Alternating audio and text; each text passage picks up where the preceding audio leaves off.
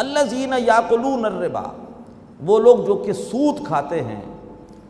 ला यकूमून इल्ला कमा यकूमुल्लजी तखब्बत हुशैतवान वो क़्यामत के दिन खड़े नहीं होंगे, मगर उस शख्स की मानन कि जिसको किसी शैतान ने छू कर पागल कर दिया। हो वो आज भी पैसे के पीछे पागल है।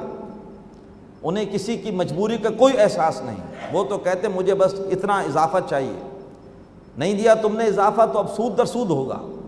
और अगर आपने इस तरह के पागलों को देखना हो तो स्टॉक एक्सचेंज में देख सकते हैं। जब तेज़ी के साथ जब वहाँ पर कोई उतार चढ़ाव होता है तो जो उनकी बुरी हालत होती है, आपको दुनिया में वो पागल नज़र आ जाएँगे। तो फरमाया कि ये क़्यामत के दिन उन लोगों की तरह खड़े होंगे जैसे जिस शख्स को कि किसी ने, किसी शैतान ने छू कर खपती कर दिया हो, पागल कर दिया हो। क्यों? इनका जुर्म क्या है? ज़ाल का हम कालू। इसलिए कि वो ये कहते थे इन नमल बई ओ मिसलबा कि बेशक तजारत भी तो सूद की तरह है, बड़ा तंजिया जुमला है। ये नहीं कह रहे कि हमारा सूद तुम्हारी तजारत की तरह है, बल्कि तुम्हारी तजारत भी हमारे सूद की तरह है। तुमने सौ रुपये का माल ख़रीदा था 110 का तुमने बेच के दस रुपये नफ़ा ले लिया, हमने भी सौ रुपये कर्ज दिए थे 110 ले लिए, फ़र्क क्या? तो यह है तंजिया अंदाज। कह रहे, तुम्हारी तिजारत भी तो सूद की तरह है। चूँकि अंदाज तंजिया है, अल्लाह ताला उसी टोन में जवाब दे रहा है। फरमाया, व अहल्लाबया व अल्लाह ताला ने हलाल किया है तिजारत को और अल्लाह ताला ने हराम कर दिया है सूद को।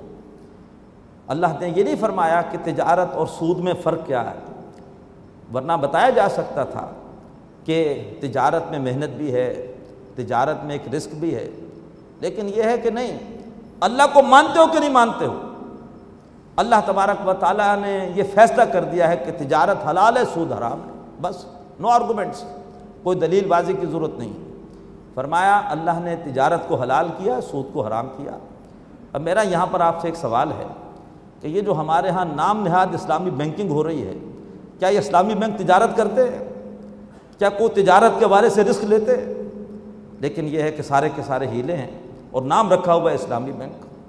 तो ये सारे का सारा फ्रॉड है, धोखा है। वरना हकीकत के अतबार से कोई तिजारत नहीं है। बिल्कुल कमर्शियल बैंकों की तरह अपने सारे मफादात का तहफ़ करते हैं और उसके बाद जो है वो नाम उसका रखा हुआ है। और हम बड़े फ़ख्र से कह देते हैं कि फ़लाँ मुफ्ती साहब का फतवा है, फ़लाँ मुफ्ती साहब का फतवा है। मुफ्ती आपके दिल में बैठा हुआ है, अपने दिल से पूछिए। कि क्या वाक़ता ये तिजारत है? बैंक कोई रिस्क लेने को तैयार नहीं है और हर चीज़ बेचने को तैयार है।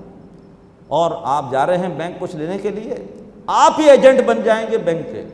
पहले आप खुद ही जाके बाज़ार से ख़रीदेंगे और फिर खुद ही अपने आप को बेच देंगे। ख़रीदेंगे लाख की और उसके बाद आप अपने आप को बेचेंगे एक लाख बीस की। इन्ना लाला है वह इन्ना लहरा जो